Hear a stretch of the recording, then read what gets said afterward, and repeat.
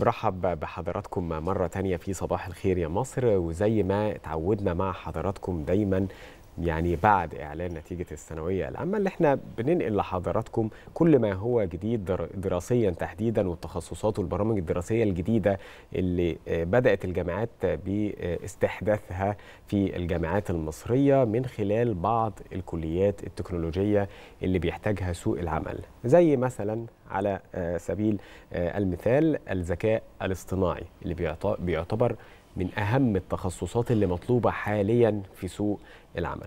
خلونا نعرف تفاصيل أكتر من خلال ضيفنا اللي موجود معانا وشرفنا في الاستوديو الدكتور رضا عبد الوهاب عميد كلية الحاسبات والذكاء الاصطناعي بجامعة القاهرة. صباح الخير يا دكتور. صباح الخير. دكتور في البداية عاوزين نعرف كده من حضرتك إحنا عندنا آه، كام كلية في آه، الذكاء الاصطناعي تحديدا في مصر؟ وإيه هي الأقسام اللي موجودة فيها أو ما يتم دراسته في هذه الكليات؟ تمام. آه، طبعا هي آه، آه، اسم كلية الذكاء الاصطناعي أو كلية الحاسبات والذكاء الاصطناعي ده بدأ في 2019 مم. كان ال- الاسم السابق للكلية اسمه كلية الحاسبات والمعلومات. في بعض ال- الجامعات المصرية غيرت الاسم من الحاسبات والمعلومات إلى الحاسبات والذكاء الاصطناعي. نعم. وفي عندنا في جامعة كفر الشيخ وجامعة ده تغيير المنوفية. اسم فقط ولا تغيير مضمون أيضا آه، تغيير اسم وإضافة آه، تخصص آه، نقي. في الذكاء الاصطناعي لأن هو الذكاء الاصطناعي كان موجود على مستوى المرحلة في البداية خالص كان على مستوى الريسيرش اللي هي الماجستير والدكتوراه وبعد كده بقى في مرحلة البكالوريوس جزء من الكورسز اللي بتدرس للطلبة وحاليا بعد 2019 بالنسبة لنا في جامعة القاهرة بقى في تخصص نقي للذكاء الاصطناعي pure في كلية مستقلة آه، بالنسبة لنا إحنا داخل الكلية. آه، في كفر الشيخ والمنوفية عملوا كلية مستقلة اللي هي كلية الذكاء الاصطناعي. نعم. إحنا بالنسبة لنا كلية الحاسبات والذكاء الاصطناعي نفس ال- آه، القديم وزودنا تخصص ذكاء اصطناعي اللوائح نفسها بتاعت الأقسام الأخرى بيبقى فيها آه، آه، تطبيقات الذكاء الاصطناعي في التخصص آه، بتاع القسم الشباب بيتخصصوا يعني من في- في ناس- من, آه. من سنة كام أو من أنهي دفعة التخصص من سنة ثالثه. يعني عندنا أولى وثانيه ده ده مشترك بياخدوا فيه العلوم الأساسية للحاسب مم. الآلي والرياضة والكلام ده وبعد كده في سنة ثالثه ورابعة بيتخصصوا آه، آه، في أحد المجالات إحنا عندنا خمس مجالات أساسية اللي هي علوم الحاسب تكنولوجيا المعلومات نظم المعلومات دعم القرار وبحوث العمليات تمام. أضيف بقى في 2019 آه، تخصص الذكاء الاصطناعي. تمام. خرجنا أول دفعة السنة دي. من آه من هذا من. تخصص آه الاي اي الدفعة كام واحد تقريبا؟ في حدود 70 طالب تقريبا. في حدود 70 طالب. متوقع بقى إنه لما يخرج لسوق العمل ال 70 طالب دول مكانهم فين؟ آه والله هو آه طبعا آه آه ال- السوق العمل آه، أو معظم البرمجيات النهارده بقى فيها آه آه لمسة الذكاء الاصطناعي يعني إحنا مثلا. لما بنيجي نبص على بعض المواقع آه، تابعه مثلا للشركات الموبايل أو الكلام ده بنلاقي أو بنسمع عن حاجة اسمها ال chatbot.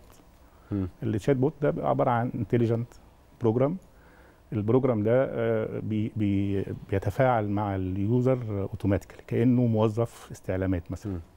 فكرة آه. الرد التلقائي على مع المستخدم مع المستخدم تمام. بيحل مشكلته آه، ده يعتبر نوع من أنواع ال- الذكاء الاصطناعي. الاصطناعي فهو في الأصل ده كان عبارة عن موقع خدمي بيقدم خدمة للمواطن يعني إحنا هنا بنتكلم الذكاء الاصطناعي هو متطلبات سوق العمل فيه هي قصر. على فكرة متزايدة أكيد لكن أعتقد هي برمجة أكتر منها بتعتمد على وظيفة يومية ومكتبية أو الكلام ده كله. هي برمجة لأن مجرد ما بقى السيستم أو البرنامج موجود خلاص بيقدر اللي هو تلقائي من خلال ال- المدخلات اللي موجودة على البرنامج بيتفاعل مع المستخدم. تمام. آه آه بس آه يعني هنا طبعا آه، وجود عنصر الذكاء الاصطناعي بيخلي ال- البروجرام آه، أكثر مرونة.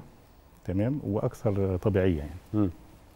طيب. آه، ال- الشباب والمهندسين الصغيرين وهم في ال- في البداية يعني بنوجههم إزاي عشان يقدروا يبتدوا يعملوا أبحاث الشغل في أقسام الكلية؟ يعني حضرتك بتقولي إن السنة دي أول دفعة بتتخرج. تمام. متوقع طبعا إن يبقى في منهم اللي هيعمل دراسات عليا وهيبتدي يكمل. أكيد.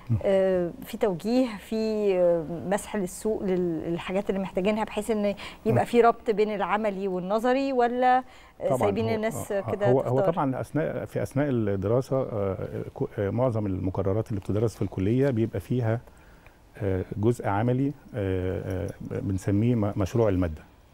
تمام؟ الطالب على مدار الأربع سنوات في الكلية بيفهم المادة كويس وبعد م. كده بيطبق فيه اللي هو بنسميه الكورس بروجكت اللي هو مشروع المادة. م. في عندنا تدريب صيفي بعد السنة الثالثة. تدريب ميداني يعني بيتدرب في أحد الشركات اللي موجودة في السوق عشان يبقى معرض يعني يفهم السوق شغال إزاي. متطلبات سوق العمل. آه وبعدين في سنة رابعة بيبقى في مشروع التخرج. آه مشروع التخرج بيتناول مشكلة حقيقية واقعية من المجتمع. آه الطالب بيبقى مطلوب إن هو يطلع النموذج الأولي لحل هذه المشكلة.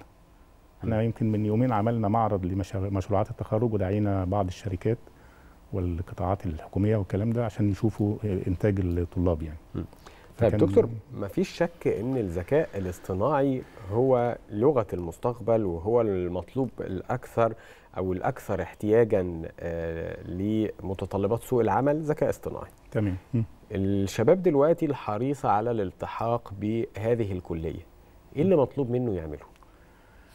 اولا طبعا إحنا بنبارك لطلاب الثانويه العامة اللي هم دخلوا كلية الحاسبات والذكاء الاصطناعي على تفوقهم يعني. م. الحاجة الثانية في المرحلة الأولى. آه. إحنا خلصنا من من المرحلة الأولى في جامعة القاهرة علم رياضة ولسه في بعض الأماكن في علم علوم. الطالب طبعا إحنا بنقول له إن دي بداية المرحلة المهمة في حياتك. م. يعني ننسى بقى النوم شوية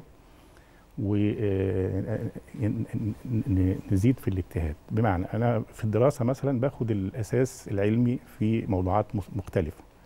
لازم الطالب يشتغل على نفسه من خلال القراية الحرة يقرأ زيادة م. يجي في الصيف يتدرب أكتر. آه النهارده الإنترنت طبعا مش سايب أي حاجة كل جميع المعلومات اللي بيحتاجها الطالب أو أي بيلاقيها على الإنترنت. محتاج فدي النصيحة الأولانية. ولا محتاج إنه يشتغل أكتر بإيده ويتدرب يشتغل أكتر؟ طبعا آه ما هو بإيده. آه نعم هو على الإنترنت عموما في materials كتيرة فيها training تدريب للطلاب يقدر إن هو مع نفسه كده في عندنا كمان داخل الكلية في أنشطة تتعلق بالبرمجة والتعامل مع الحاسب. إحنا بننصح الطلبة إن هم يشتركوا فيها من أول يوم. عندنا فرق بتطلع في مسابقات دولية كل سنة في البرمجة اللي هي ال ACM يعني الباب مفتوح لأي طالب عايز يشترك في هذا النشاط بالإضافة طبعا للاجتهاد في الدراسة. طبعا. دكتور بيبقى في كتير اتفاقيات بتحصل أو شراكات بتحصل بين الكليات في جامعة القاهرة وفي الجامعات الأخرى أو يعني برامج تدريب مشتركة الشباب بيقعدوا فترة موجودين وبيسافروا فترة يتدربوا أو بيجي لهم أساتذة زائرين. هل إحنا عندنا حاجة زي كده في, في كلية الذكاء هو الاصطناعي؟ يعني إحنا من ناحية المبدأ حاسبات وذكاء اصطناعي. تمام. من ناحية المبدأ إحنا في من بداية إنشاء الكلية كان عندنا الخريجين المتفوقين كانوا بيلاقوا فرص منح شخصية ماجستير ودكتوراه بسهولة. يعني الطالب بيطلع مش محتاج أي requirement زيادة أكتر يمكن من ال English في ال TOEFL والكلام ده بيطلع ياخد منحة. يعني في عندنا ناس راحت ال MIT وناس راحت ستانفورد أكبر الله. الجامعات الأمريكية. م. وفي ناس اشتغلت في شركات كبرى زي ال Bell Lab والكلام ده. من خريج الكلية. آه فده يعتبر تعاون غير مباشر بس آه مع مع العالم الخارجي. آه طبعا إحنا في المرحلة الحالية طبعا بقى عندنا دلوقتي خريجين قدام. يمكن إحنا في فترة قريبة هنحاول نعمل بروتوكولات تعاون مع الشركات الكبرى اللي هي بيبقى فيها مراكز بحثية من الداخل. بالإضافة إلى بعض الجامعات الأجنبية. طيب دكتور إحنا في مصر حاليا في الجمهورية الجديدة بنتكلم على مدن الجيل الرابع. إلى أي مدى هذه المدن الذكية بتحتاج لخريجي آه، كلية الحاسبات والذكاء آه، الاصطناعي؟ بنسبة كام في المية هو ليه دور أساسي في المشروعات القومية الكبرى اللي بتحصل في مصر مدن الجيل الرابع وغيرها من آه، الأمور المستحدثة وهنا بتكلم بقى إيه؟ الاستحداث اللي بيتوافق مع أو بيتطلب فيه technology. هو آه، آه، آه، ال- ال- المدن الذكية وتطبيقات ال- الذكاء الاصطناعي طبعا زي ما يعني هتكتسح عالم ال hardware وال software في المرحلة اللي جاية فبالتالي دور خريج الكلية هيبقى أساسي أكبر. جدا ونسبته عالية. بس طبعا ال- الشاطر هو اللي بيلاقي الفرصة يعني هنا الطالب المجتهد اللي هو آه، متابع لا، للتغيير الشاطر اللي بيلاقي الفرصة مش الخريج اللي بيلاقي الفرصة لا لا الشاطر علميا اكاديميا اللي هو آه. آه. اشتغل على نفسه ذاكر كويس آه، ابدي يعني بي بي بي بيح- بيطور من نفسه. بيطور من نفسه لأن ال ال ال العلوم نفسها بتتغير بسرعة كبيرة فلازم الطالب يكون متأسس طب كويس ده ما يجرناش. كده لسؤال آه، بيتبادر لذهن لناس كتير يا دكتور. آه، كلية حديثة. اللي بيدرسوا فيها. آه، منين؟ كانوا لا، أصلا لا، يعني لا يعني هو هو تاريخيا كان آه، يعني قبل سنة 95 كان آه، ال- الحاسب بيدرس في كليات الهندسة هندسة حاسبات مم. وفي كليات العلوم أقسام علوم الحاسب. وفي بعض كليات الهندسة كان فيها تخصص هندسة الحاسبات يعني. يعني كليات الهندسة كان فيها جزء فيه قسم الاتصالات مثلا هندسة الاتصالات بي- بيشمل الحاسب وفي كليات كانت فصلهم يعني. آه، ده الكلام ده قبل 95 لما جت في سنة 95 آه، يعني آه، تم تأسيس فكرة أو قطاع الحاسبات والمعلومات. يعني طبعا في السياق ده بنذكر بالخير الأستاذ الدكتور إبراهيم فرج عليه رحمة الله وتوفي يعني. من أسبوع. ده الأب الروحي لكليات الحاسبات. وضع آه، لائحة لحاسبات ومعلومات جامعة القاهرة وطبعا اشترك. في تأسيس المنظومة بتاعة الحاسبات تم استقبال أول دفعة سنة آه، 96 يبقى اذا الدكاترة اللي. تعينوا في الكلية كانوا في الأساس من خريج الهندسة والعلوم صحيح كلية الهندسة وكلية العلوم. آه الأبحاث آه، في معظمها في الفترة ما قبل 2019 كانت الأبحاث وال- والرسائل الماجستير كانت كانت في تخصص الذكاء الاصطناعي معظمها. يعني بشكل أو بآخر في تخصص الذكاء الاصطناعي. وبالتالي إحنا كنا جاهزين في عندنا استشراق للمستقبل. آه, آه إن يبقى. عندنا ستاف يمسك تخصص الذكاء الاصطناعي اللي هو بتاع 2019 الحديث. طيب. طيب. دكتور آه، المتابع لتنسيق المرحلة الأولى آه، يمكن إحنا نادينا واتكلمنا في وسائل الإعلام ومرارا وتكرارا قلنا إن فكرة آه، متطلبات سوق العمل أصبحت متغيرة. تمام. وليس بالضرورة كل خريج من خريج كلية القمة هو اللي سوق العمل بيحتاجه دلوقتي. تمام. خلاص ما بقاش في ال- النظرة السائدة اللي أنا لازم آه، أكون دكتور لازم أكون مهندس. لا الشطارة دلوقتي إيه اللي محتاجه سوق العمل؟ عشان أعرف إن أنا أشتغل على طول علشان ما يبقاش عندي نسبة بطالة كبيرة. وأعتقد كلية زي كلية الحاسبات والذكاء الاصطناعي هي صلب الموضوع الرئيسي اللي إحنا بنتكلم تمام. فيه لأنها من الكليات اللي بيحتاجها سوق العمل. إزاي أقدر أوعي الأهالي تحديدا هنا قبل الطلبة؟ لأن أحيانا هم بيكون ليهم دور في الاختيار يعني. للطالب والتوجيه. إزاي أقدر أقول لهم إن هو ده المستقبل؟ هو ده الجديد. النصيحة اللي تقولها لهم. آه هو هو طبعا آه، المشكلة دي آه، قديمة جديدة يعني فكرة آه، هل هو هل التفوق إن أنا أبقى في كلية طب أو كلية هندسة. ولا التفوق إن أنا أروح للمجال اللي رغبتي. الشخصية وأتميز فيه. وطبعا النظرة الثانية هي الصح إن أنا أروح للمكان اللي بيتناسب مع قدراتي ومع مواهبي ومع طموحاتي صحيح. وأتفوق فيه؟